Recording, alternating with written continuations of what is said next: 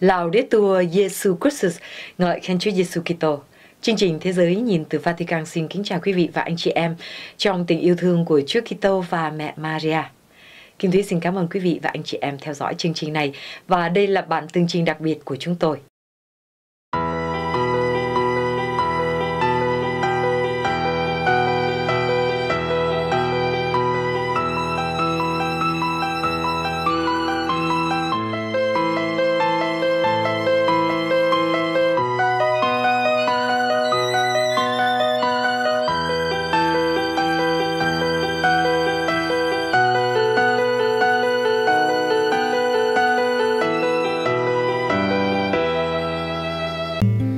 Testemunho de uma criança enferma que tem comovido as redes sociais de língua espanhola e é claro. Bé gái 10 tuổi gây xúc động mạnh tại Tây Ban Nha. Một bé gái 10 tuổi ở Tây Ban Nha đã hoàn thành ước mơ thời thơ ấu của mình là trở thành một nhà truyền giáo công giáo từ giường bệnh của em ngay trước khi chết vì khối u não vào tuần này. Teresita Castillo de Diego qua đời. ngày 7 tháng 3 tại Madrid sau 3 năm chống chọi với khối u ở não. Cha Enzo Camino Lamela, một vị đại diện cho Đức Hồng Y Carlos Osoro Sierra, là tổng giám mục Madrid tại Bệnh viện La Paz và giáo hạt thứ 8 của Madrid đã kể lại câu chuyện của nhà truyền giáo trẻ tuổi trong một video và một bức thư mà Ngài gửi cho tất cả các tín hữu trong giáo hạt của Ngài. Vào ngày 11 tháng 2 vừa qua, khi cha Camino dâng thánh lễ tại bệnh viện La Paz, Linh Mục tuyên ý ở đó, cùng các bác sĩ và y tá đã đề nghị Ngài đến thăm một cô gái trẻ bị bệnh nặng đã được lên lịch phẫu thuật vào ngày hôm sau để loại bỏ khối u não. Chúng tôi đến khoa chăm sóc đặc biệt với trang bị đầy đủ. Tôi chào các bác sĩ và y tá. Sau đó họ đưa tôi đến Teresita. Mẹ của em là Teresa, đang ở bên giường bệnh của em. Một dải băng trắng quấn quanh đầu cháu bé nhưng khuôn mặt của cháu lộ ra ngoài đủ để nhận ra một khuôn mặt thực sự rực rỡ và đặc biệt. Cô gái trẻ nói với vị linh mục rằng cô rất yêu mến Chúa Giêsu và muốn trở thành một nhà truyền giáo.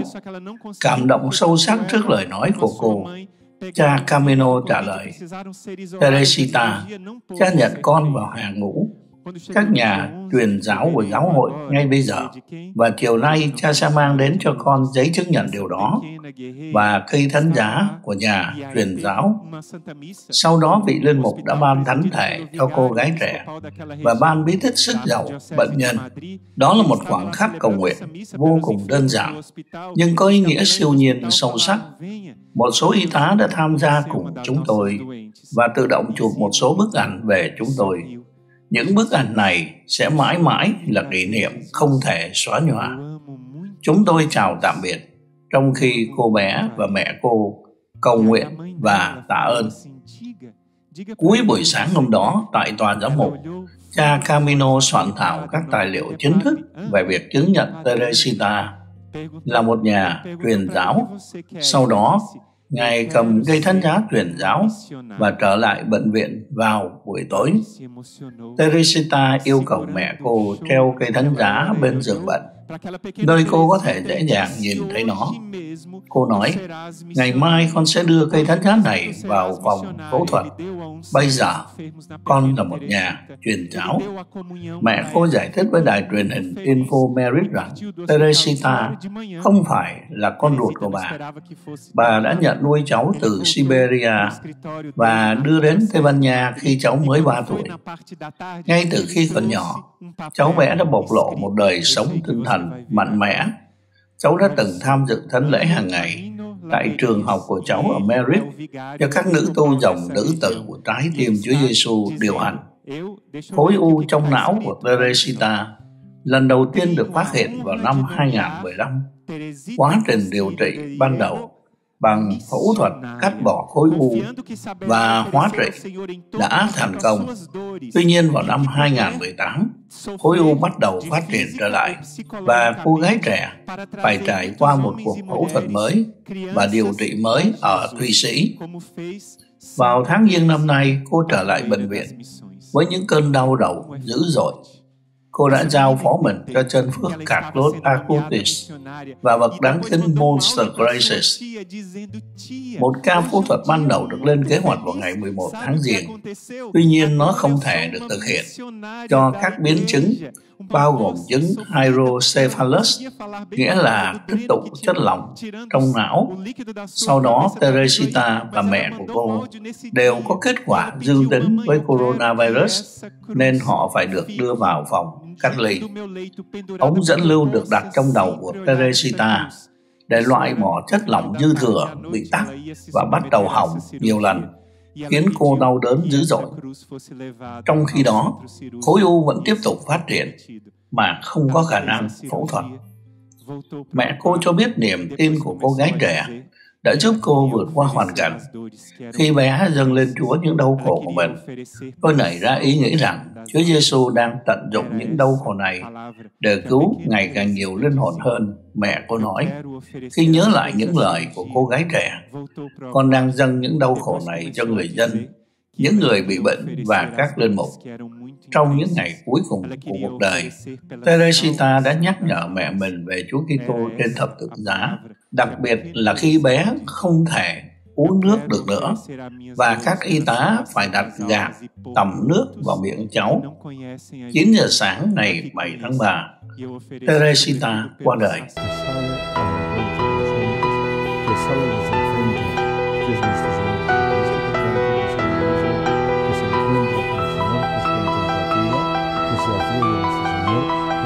no en sí mismo en sí, sino que sale a todos los lugares donde están los hombres, y especialmente en las circunstancias en las que se encuentran, haciendo visible que se nos dice samaritano, por tanto, que se detiene ante todas las situaciones que se interesan. Esas personas y esas situaciones, esos grupos. Cô được chôn cất vào ngày hôm sau Đức Hồng Quy Carlos Osoro, Tổng giám mục Merritt, đã đến tận nơi để hỗ trợ gia đình cô với sự hiện diện của Ngài và đưa ra một số lời đầy hy vọng có thể an ủi cha mẹ, họ hàng và những người bạn trẻ của cô gái Teresita. Cha Camino kết thúc thông điệp của Ngài bằng cách yêu cầu mọi người cầu nguyện cho Teresita và trên hết hãy giao phó bản thân cho cô ấy bởi vì tôi tin rằng cô ấy sẽ bảo vệ một cách đặc biệt toàn bộ giáo hạt của chúng ta nơi cô ấy được giao trách nhiệm là một nhà truyền giáo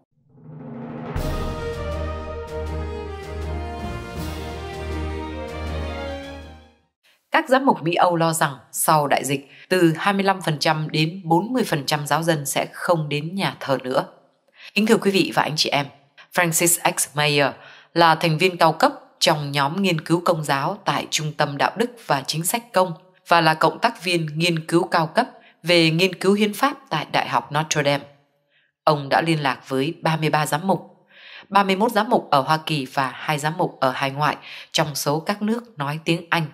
Trên tờ First Things, ông đã tóm được kết quả những cuộc trò chuyện với các giám mục trong một bài báo có nhan đề Somebody need to be dad, nghĩa là cần phải có ai đó làm cha. Xin kính mời quý vị và anh chị em theo dõi bản dịch sang Việt ngữ qua phần trình bày của Kim Thúy. Đối với người công giáo, Công đồng Vatican II là sự kiện quan trọng trong 60 năm qua. Công đồng đổi mới sự hiểu biết về bản thân của giáo hội.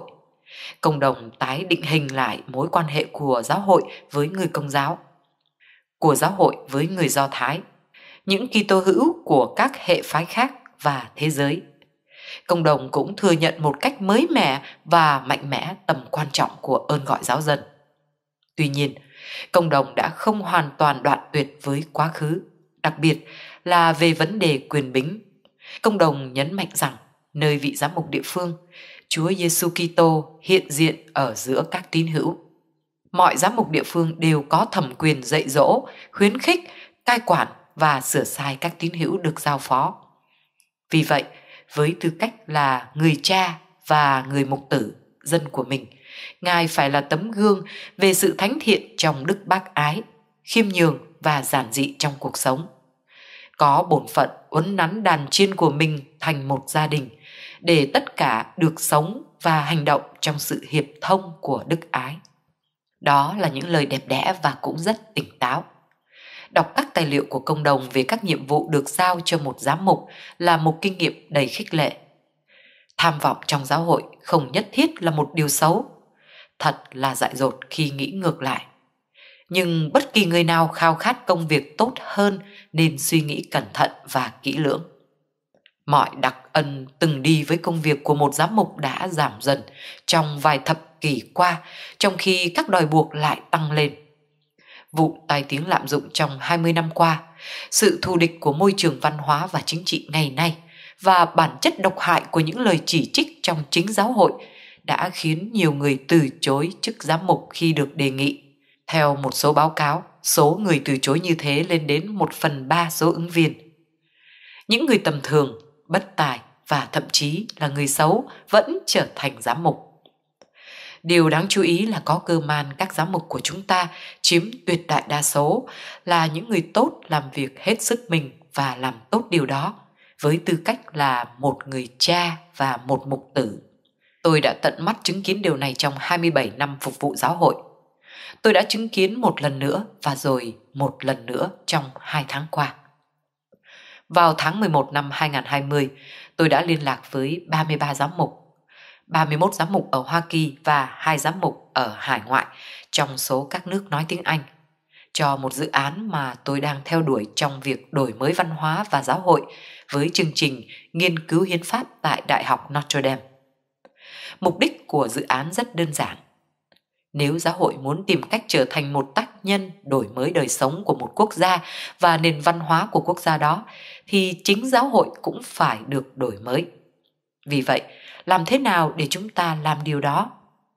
Trong khoảng thời gian từ ngày 1 tháng 12 năm 2020 đến ngày 17 tháng 2 năm nay, tôi đã thực hiện các cuộc phỏng vấn một cách tín cẩn với 28 giám mục trong số đó. Hai cuộc phỏng vấn nữa đang chờ tổng kết.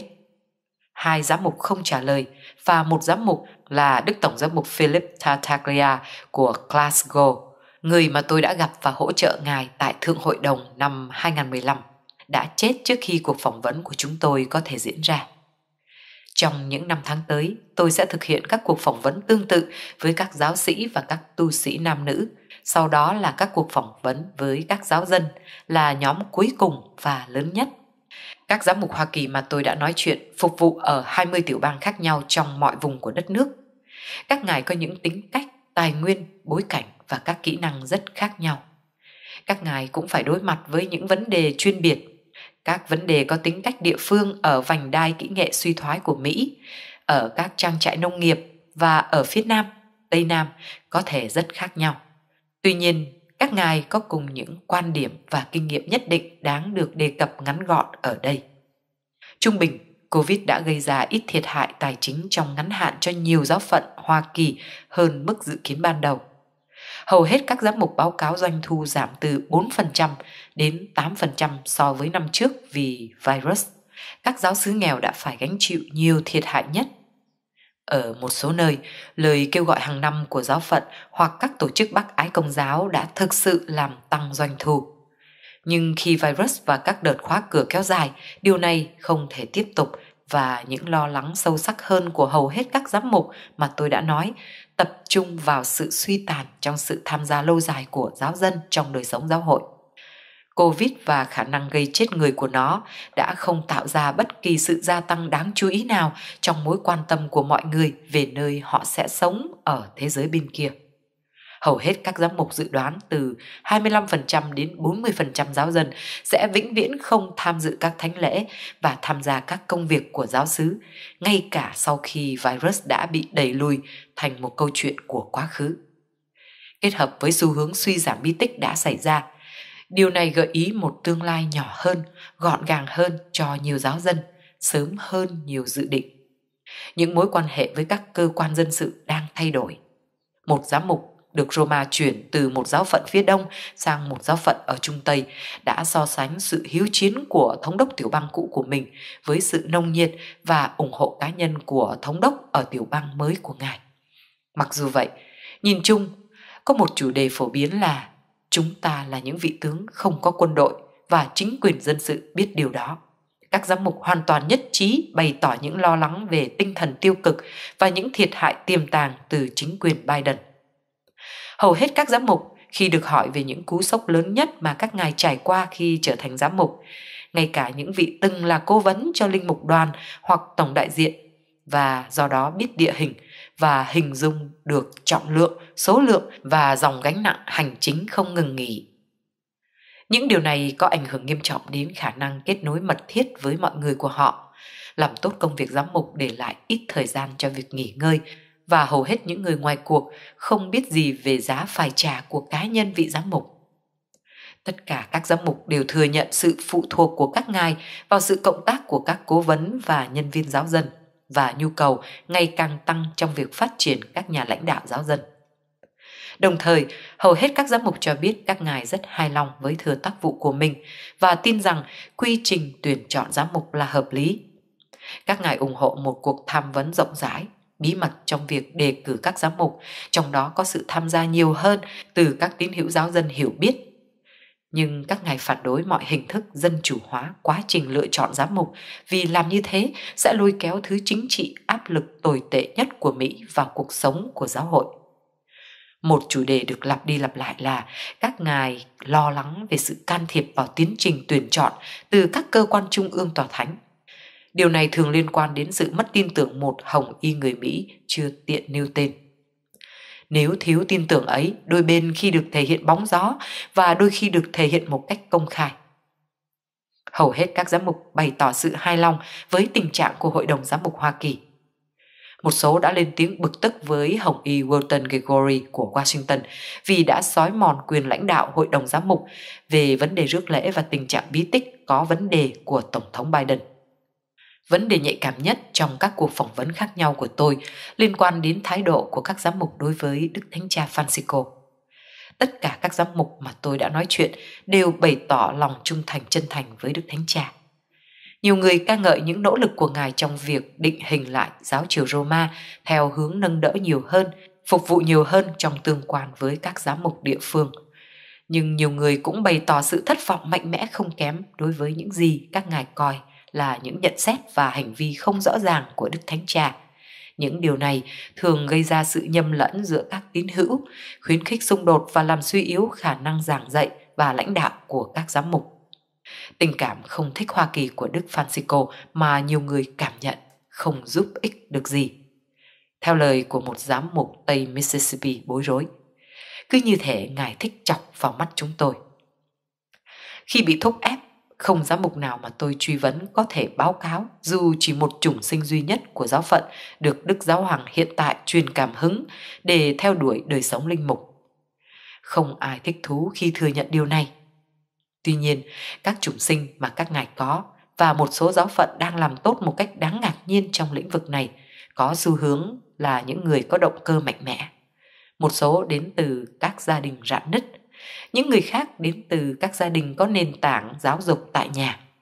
Vẫn còn những người khác có một cuộc gặp gỡ mạnh mẽ nào đó với Chúa, một sự hoán cải bất ngờ về tôn giáo hoặc trải nghiệm tâm linh, dẫn họ đến chủng viện mặc dù họ không được giáo dục tôn giáo chính thức Điều này làm cho năm dự bị hay năm linh đạo của một chủng viện trở thành một sự chuẩn bị quan trọng cho việc giáo dục chính thức tại chủng viện.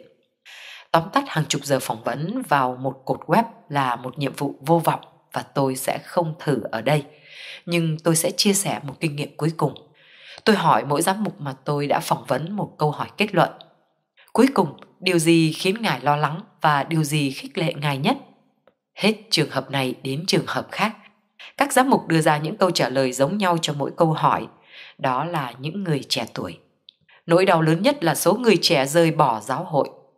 Nguồn hy vọng lớn nhất là lòng nhiệt thành và tính cách của những người trẻ trung thành và yêu mến Chúa Giêsu Kitô.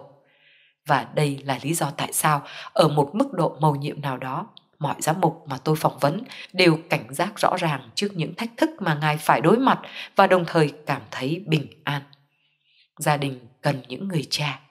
Như chính cha tôi đã nói với sự khó chịu nhưng với sự đều đặn chính xác cần phải có ai đó làm cha vì lợi ích của mọi người bất kể người ấy có bao nhiêu mụn cóc sự thật phi thường của đời sống công giáo ở Hoa Kỳ không phải là một số giám mục đã hạ nhục chúng ta một cách cay đắng, mà là vì nhiều vị đang làm công việc rất tốt.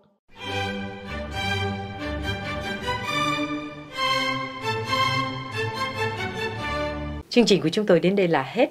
Xin quý vị và anh chị em giúp phổ biến rộng rãi chương trình này đến với gia đình, thân quyến và bạn bè xa gần như một cách thức để truyền giáo. Mọi ý kiến đóng góp xin gửi về địa chỉ tv.vietcatholic.net Xin cảm ơn và hẹn gặp lại quý vị và anh chị em trong lần phát hình tới. Laudetur Jesu Christus, ngợi khen Chúa Giêsu Kitô.